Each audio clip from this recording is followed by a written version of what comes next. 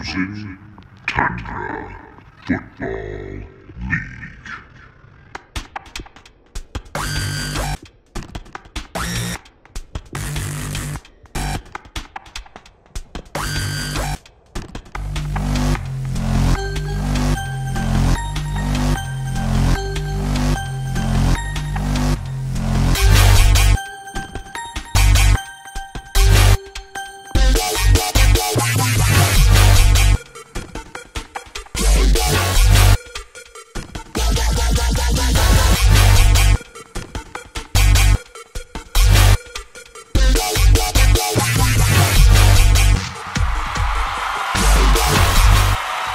Well, hello and welcome to the longest running weekly episodic fantasy football update show.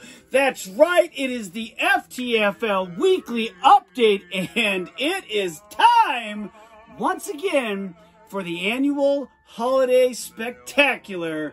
Last week, oh wait, I digress.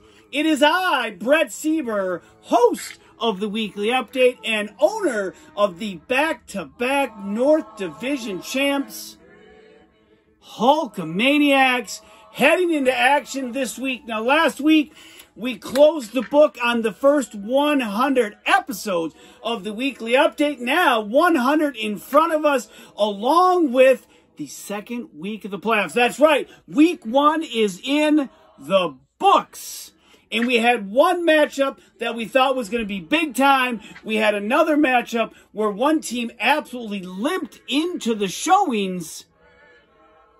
But the only ones that really matter are the ones in the playoffs. Now, it may have taken over a month, but Peter finally got to win number eight as he wins his playoff game. We're going to get there in a little bit. Of course, Andy, also winner in the first round on the championship side of the bracket. Yes, we will cover the other side of the bracket as well. This week, for the first time ever, we will see a brother versus brother in the playoffs and I ask you this question as I prepare to take a bite of this delicious Christmas cookie. Has bitching season begun? Not gonna lie, when it comes to this cookie, I have zero complaints. Mmm. Alright. Oh, this is so good. And another one who has zero complaints is Andy. Andy has been up, he's been down, he's been up, he's been down a lot like Markster's Chubb. You never know what Andy you're going to get each week. Now, this past week, he came in to the playoffs at 8 and 6, taking on Liquid Schwartz, who stumbled on Monday night, losing out on the division, having to play Andy, of course, not Peter or not Eric, thanks to one Senator, I mean, Ryan Deesum. Now, Eric brought it up too, and Eric absolutely had it right. The second place team in every division, they get the higher seeds, and then the wild cards are as is. And so what happened is what should have happened, regardless of how much crabbiness uh, Adam Swart has about it. Although I'm sure the crabbiness begins because Andy has now won his third game in a row. He Swart loses his third, 91 for Andy, 66 and a half for the Liquid Schwartz. Travis Kelce was the stud of the week with 29 points for Andy Deebo with 12. Aaron Jones 11. Dak and the Rams defense 10 points. Mike Evans half point and an injured hamstring. Will he be back this week for Andy's second round matchup against the Hulkamaniac? Yet to be seen. The other thing, of course, for Andy is Yes, you won your playoff game. Now, you come to face the mighty Hulkamaniacs. My question is who is your quarterback going to be? Now, if you hang on just a few more minutes, I may have something that could help with that very scenario. Uh, for yours, uh, for Adam, as he marches now to the fifth place game, Josh Allen, his normal Josh Allen self, 22 points. Dallas Goedert, 11 and a half. Zeke, Elliott, no, not El, not Zeke. Who the hell is Elliott? 10 points. Jake Elliott, his kicker. I'm like, he's not Zeke. Jake Elliott, 10 points. Uh, where really things fell apart though was running game. Najee with a point and a half. Rhamondre, sorry, a point. Rhamondre Stevenson, two and a half points. KJ, big time pickup last week. Osborn, only one and a half points. Uh, so much, so long. Uh, maybe, just maybe, had you given us the parade you were supposed to, you would have won. Sometimes karma well, you know the old saying. Uh, next game and second game on the championship side of the bracket, the Valhalla Vandals, who have flip flop floundered their way all the way to the finish line, falling ass over tea kettle backwards into the playoffs. That was a mouthful. Time for another bite of cookie. Mm. Want Peter think about how terrible he was into the season. Mm-hmm. Yeah. Coming in at seven and seven, taking on the Pack Attack, who had won three in a row. Now, mind you, Peter had lost four in a row. Of course, he was one and five in his last six games. In his last seven, make it two and five, and that, my friends, is the all-important victory. 61 and a half in the, to 58 and a half in the I don't want her, you can have her, she's too fat for me bowl. I mean, it looked like nobody wanted this. Peter, of course, two quarterbacks, you got none. That came back to bite him, came back to haunt. Even with that gift, Eric's team could not rise to the challenge again, much like Markser's beaten to a bloody pulp Chubb. Um, if you're Peter, led the way, Tyreek Hill, 20 points, the Colts defense, 13, Matt Gay, 11 points. Five players at four and under for Peter, including Tom Brady. That's right, Tom, the man, the GOAT Brady, four points. Mahomes, however, on his bench with 30. Didn't matter this week. Will Peter make the right choice? Next week, that's a little bit up in the air. Uh, if, you, if you're Eric, uh, your season comes to an end in a season led by quite possibly the stud of the year outside of the quarterbacks, uh, Cooper Kupp. 24 and a half points for him. That dude has had been an absolute stud all season long. Greg Zuerlein, 10 points. Eric had five players at three and a half points. Had he played Roethlisberger over stupid face Russell Wilson, had he played Marquise Brown over Amari, I play for the hapless Cowboys offense. Cooper, you would have won you lost. Instead, you go to play Liquid Schwartz in the fifth place game, and Peter marches on to his second round matchup, which we will divulge here in just a moment.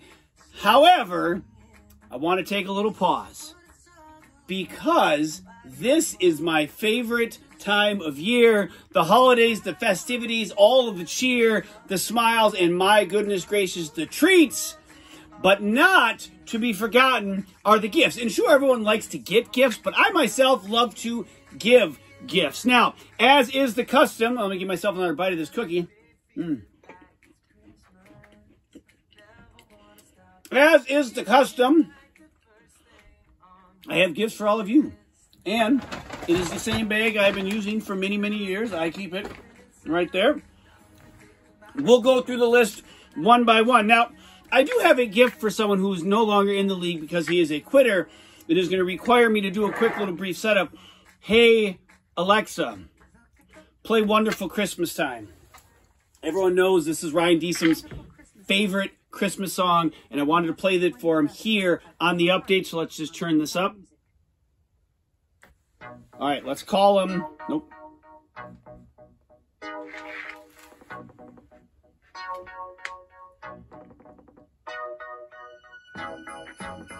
I don't know if he's going to answer. I was hoping he was going to. I set this up by telling him I had something cool I wanted to show him. Apparently, he is not wanting to answer, which is really a bummer because we are having a wonderful Christmas time. let's just uh, call. Nope, let's hear. Let's try calling him. We'll... Um, we'll try one more time here. He may be working, saving lives. I have no idea. Um, if we get him on the phone here, this would be awesome.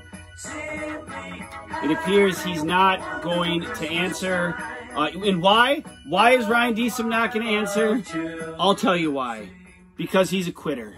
He's quit on our league. He's quit on answering his phone. And if you've seen him lately, he apparently has just quit on, you know, his appearance in public. All right, that was mean for the Christmas season. FaceTime unavailable. Oh, well. Hey, Alexa, play some more Christmas music.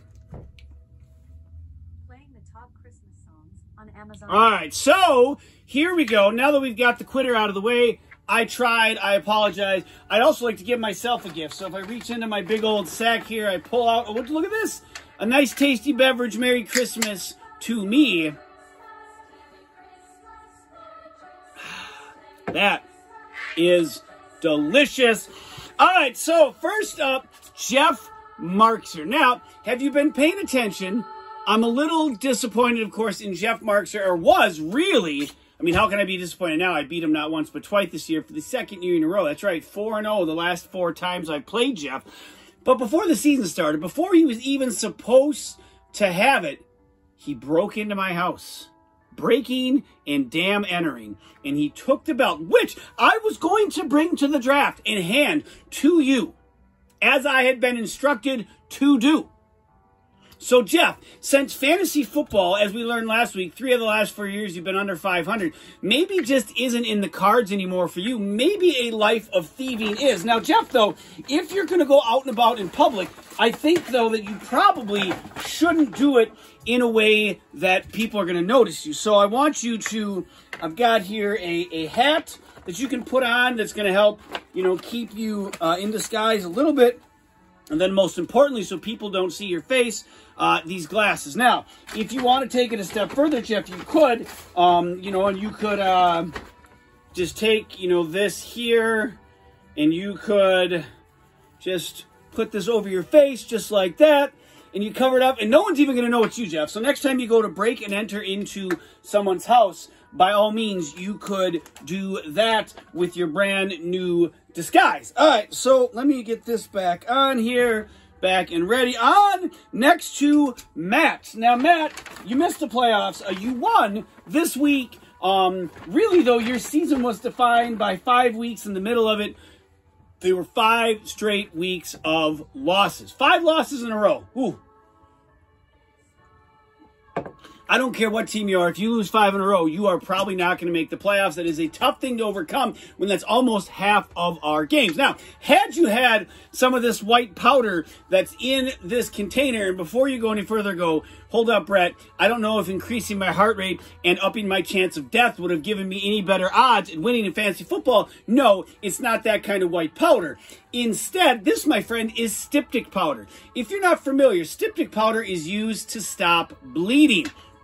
I used it on the Raptors at work when we trim their talons. Sometimes you trim a little far. Maybe if you've got a dog and you've trimmed its talons. But styptic powder on the bleeding that was your five game losing streak might have held it to three. Hell, even four. And one more game. As Sid pointed out, you had everything else go right for you except you lost. And so that final game, styptic powder could have saved your season. All right, next up, Big John. Now, this year really wasn't John's year for fantasy football, and some of you are aware it just wasn't John's year in general. Um, I don't know if I talked about it on the show. Back in the summer, I think it was summer, maybe it was early fall, John went to the county fair up where he lives. John got on the Ferris wheel. It's pretty benign ride, pretty easy to handle. As John got up to leave said Ferris wheel, blew his Achilles tendon smooth out. That's right. John blew out his Achilles on a Ferris wheel. Hobbled, no, fell down the stairs. The last few months of rehab and potential surgeries have been a complete nightmare. John, I don't want that to happen for you going forward. And so, John, next time the fair comes to town, I've got an ace bandage. I want you to wrap your ankle in that ace bandage up real tight. Maybe have your wife do it. I'm sure she's got a little more, more grit and toughness than you do. Have her wrap that ankle for you. Maybe the other one. Maybe the other, maybe the one that you blew out is too far gone. So protect the good ankle, John. Otherwise, you've lost all ability to stand while peeing or to pee while standing. And good Lord, I'd hate to see that, or hear, I suppose, that happen. Uh, next up, Sid Hagen. Now, Sid has a history here in the FTFL. He has a history of spending the most money year in and year out. And 2021 was not an exception. Now, it was close. It was a $1 difference, but yet Sid Hagen took home the trophy again. Now, Sid, I'm just thinking about all these transactions and the, and the dollar bills that you've got to find a place to keep them so you don't lose them. Maybe you get a bunch of them ahead of time so that you can have enough for the season. And I don't want you to put them in your pockets. You got to take them in. You got to put them out. I want a, a place for you to keep them nice and safe. So, Sid, I got you this nice, beautiful purse right here. Look, open it up. There's plenty of room for dollar bills in there, maybe even other, like a couple mints or something. You can throw it around your shoulder, and uh, you just take this wherever you go. And if you have the inkling to spend some fantasy money, you've got the dollars right there at your disposal. All right, on to Mr. Eric. Mr. Eric, you know that I can't stand Russell Wilson. You know that he's got a stupid face. And it was his stupid face who left you high and dry last night in your playoff game. So, Eric, I have something to correct the problem. You could simply cut Russell Wilson, but that would be too easy. No, no, instead, I think you should take this bag that I have put some holes in it. You can put this over Russ's head and cover up that stupid face. Cover it up and make him sit there in shame. Although, now that I think about it, maybe he'd rather wear this if he's sitting on your bench because, of course, you lost. You know what? You do with this as you see fit. I would give it to stupid face Russell Wilson because that guy is a bum. And in the words of Sid Hagen, he sucks. That's right. All right, moving on to Andy. Now, Andy, I said earlier I had a potential solution for your whole uh, your whole quarterback dilemma. Uh, all year long, Andy, it's what quarterback do you play? And I've said it on this show for years. You know, if you got two, you got none. Well, look what I've got right here: a nice shiny quarter. Nice shiny quarter. Heads, Lamar Jackson. Tails, Dak Prescott. You get it on your thumb, you give it a flip, and you call it in the air. Now, Andy, if it's this week, let me tell you heads, you lose. Tails, you lose. But for other situations, this might get you through those difficult choices that one has to make in a fantasy season. All right, couple more left to go before we move on to the last games and talk a little bit about next week. Adam Swartz. Adam Swart, you notoriously gave up multiple times. I got screenshots from people who you sent them a text early in your game each week. Congrats on the win. Nice job. Looks like I'm finished. All right, you got the win this week. It goes on and on and on. And you call it some sort of tactic to, you know, I don't know, inspire your teammates. I'm sure it inspires them to keep drinking because, good Lord, you put them through a lot as their owner. So, Adam, to help you make your quitting more official week in and week out, I have fashioned this nice little white flag. Instead of a text saying, nice win this week or looks like I'm done, I just want you to send a picture or a video of you waving this nice little white flag where you're giving up yet again. All right, Peter. And don't worry, Saltmarsh, I haven't forgot about you. You're going to be last. Peter. What a season. Had you not won this week, you were running the risk of losing six of your last seven games, or five your last six games, five your last six games, stumbling your way into the playoffs and into just infamy with a horrid second half of the season in which you checked box after box after box off of the DSIM Award seat. Now, it maybe maybe you haven't had time to study it. So my gift to you, Peter, is this. I'm going to go ahead and put some pictures on the screen. All right, here they are. Now, Peter, I want you to look at these closely. Maybe you print them out at home and study them. Don't do what's on this seat if you want to run a successful fantasy football team. Just stay away. I mean, from the quick pickup and drops to the multiple running backs to the incomplete lineups. I mean, it, it, the list is long, Peter. So long, in fact, that as folks are seemingly, and even the namesake himself, Ryan DSIM, feels maybe it's time to move on from the DSIM Award. Maybe it's time we rename it for DSIM's replacement. Now I know your last name Vingy, but it kind of looks like Vingy. What if we just call this toilet seat the Vingy Cringy Award? What if we give it to someone who did something so bad they made us cringe? We're like, oh God, I can't believe they did that. That's just like Peter.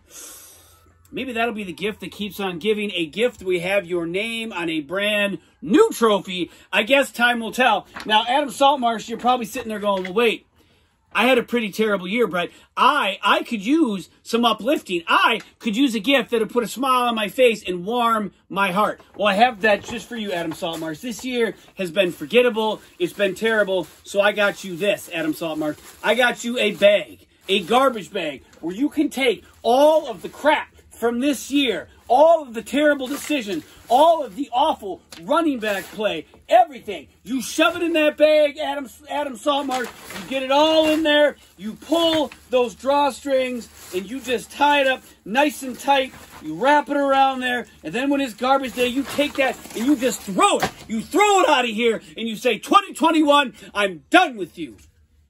You're welcome. You're all welcome, and I hope you have a happy holiday season. Quick, we're going to cover the games that no one cares about, or at least, well, you know what?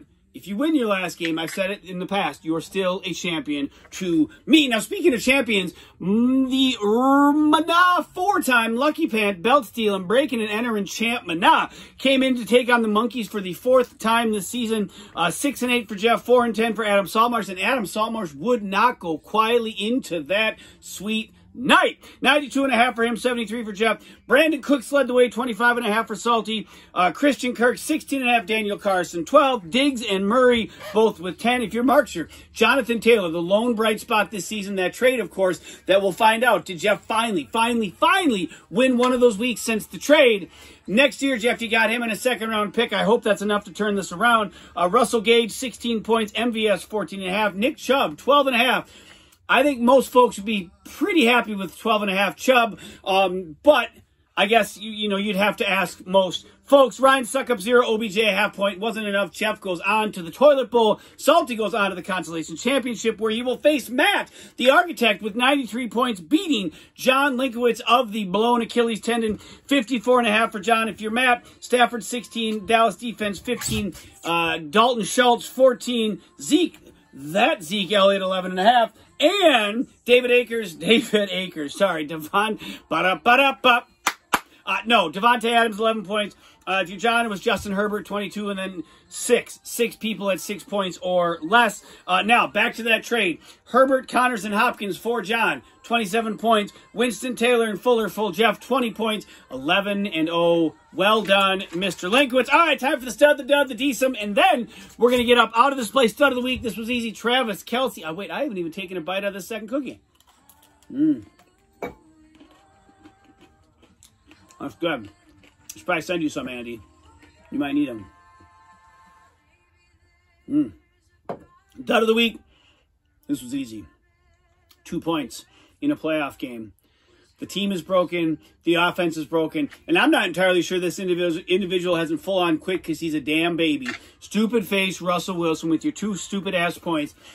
See you later. Goodbye. Nice knowing you. We didn't even want to see you in the first place.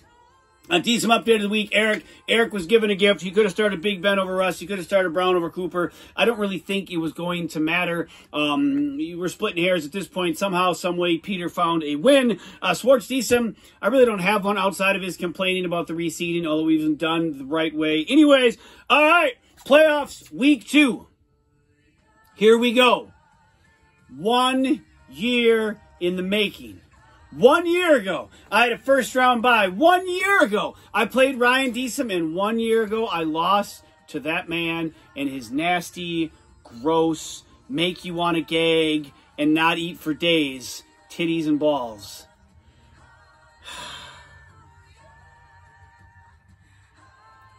One year ago, I blew an opportunity. Man, not this year. I said at the beginning of the season, this year was going to be different.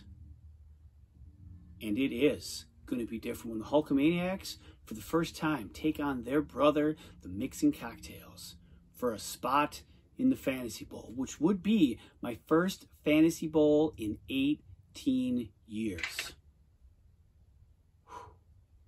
Other side of the winner's bracket, the Cream America 9 and 5, taking on the Valhalla. Just found my eighth victory. Vandals. Woo! One and one is the series record on that. I forgot to mention between my brother and I, sure, first time we're going to meet in the playoffs. 24 17, I lead all time, uh, 0 1 against Andy this year. In the Consolation Championship, we have the Monkeys at 5 and 10 taking on the Architect at 7 and 8. In the Toilet Bowl, we have Mana, four time Lucky Pants belt stealing breaking and entering Champ Mana taking on Team Linkowitz in the, I guess, just one last shot at Respect Bowl, we could also call it as well. Fifth place game will feature Liquid Schwartz and the Pack Attack. Whew. And that's it for the show. And now, now the real fun begins. Playoffs week two. You win this week, you're going to the Fantasy Bowl. I hope each and every one of you have a most Merry Christmas. Enjoy the holidays, especially the gift the NFL has dropped all of our laps, getting to watch the Green Bay Packers on Christmas Day. And until I see you back here next week, peace. Well, yes, yes, I'm nervous. God, why wouldn't I be nervous? Yeah, I know I had a first round bye. Whoop de doo, I had a first round bye last year. Yeah, you know what? I apologize. I'm sorry. I'm sorry. I, you you've led me to this point. I have no reason to think this isn't going to continue on. So you really, you really think I should leave him out of my lineup? I mean, I was. You know what? No questions asked. Done. Yeah, this is it. All right. Well, thanks. Yeah, have a happy uh, Merry Christmas, and um, we'll see you on the other side.